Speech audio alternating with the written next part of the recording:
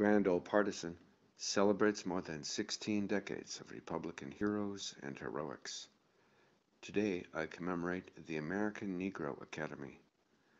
This organization of African American intellectuals promoted higher education, arts, and science within their community. It was founded in Washington, D.C. on March 5, 1897. Meetings took place at the home of John Wesley Cromwell, a former slave who attended Howard University Law School and appeared before the Interstate Commerce Commission.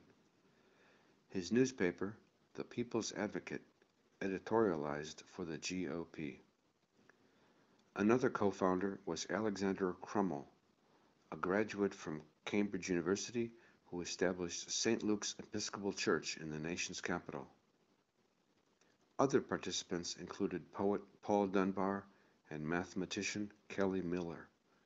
They sought, quote, to lead and protect their people and to be a weapon to secure equality and destroy racism. They were all Republicans. Back to basics for the Republican Party is my civil rights history of the GOP. To quote the book, the more we Republicans know about the history of our party, the more the Democrats will worry about the future of theirs. For more information, see grandoldpartisan.com.